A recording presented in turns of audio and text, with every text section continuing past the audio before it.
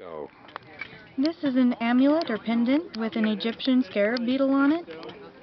As you can see, there's the head at this end, and then the rest of the body of the scarab beetle. And then on this other side, we have a design that we're not exactly sure what exactly it is for certain. Some have some have speculated so far that it might be a peacock.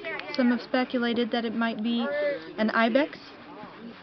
But it also appears to have some cuneiform writing on it as well. And so far we're estimating this to be from about 2000 BC.